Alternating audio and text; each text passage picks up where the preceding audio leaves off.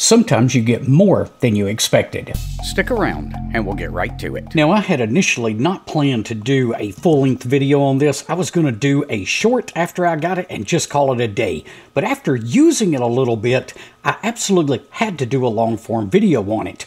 You can kind of get a size comparison between the battery and the Baofeng UV5R. So it uh, is a fairly large battery bank as far as small little portable battery banks go, but it's got a lot of cool features. Uh, beautiful display on the front, input comes in over here, output comes in on this side, and we've got the meter right in the middle telling us how much is left.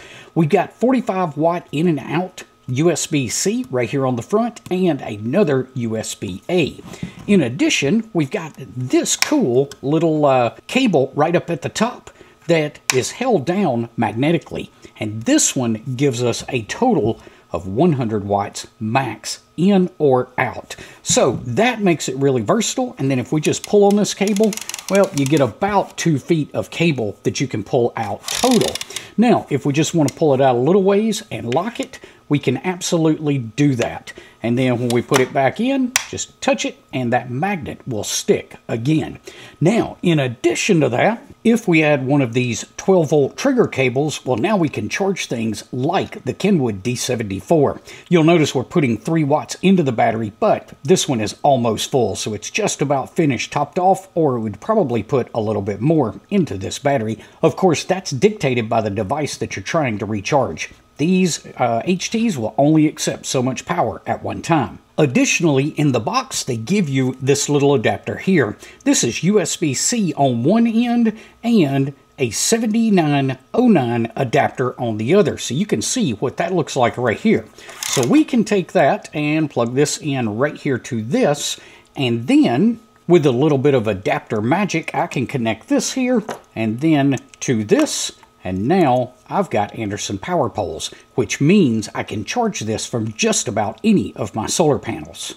All right, that's pretty cool. I've got a 20 watt panel on it just plugged into the main USB-C right up here on the top, and I'm getting between 15 and 16 watts. Let's try it with a bigger panel. And with a bigger panel, you can see that we're getting about 30 watts. That's not bad at all. It's going to take us about 32 minutes or so to get fully charged back up. Okay, you can pause the video right here if you want to read all of this. I just want to touch on a few key points. We've got a total of 99.2 watt hours. If we look at the outputs for the USB-C, that front output, we can get 5 volts at 3 amps, 9 volts at 3, 12 volts at 3, 15 volts at 3, or 20 volts at 2.25. Now that's on the front USB-C port. If we use the built-in cable, we got 5 volts at 3, 9 volts at 3, 12 volts at 3, 15 volts at 3, and 20 volts at 5 amps. I have been able to use this to power both my MacBook Air and a second monitor that's a travel monitor at the exact same time. And it tells me, I haven't run it completely dead, but it tells me with the uh, remaining hours left that I can run that setup for about six hours, and that's pretty good when the unit is this small. Additionally, while we were at the parade, I used the D74 connected to the AFERIY with this trigger cable to run APRS the entire day.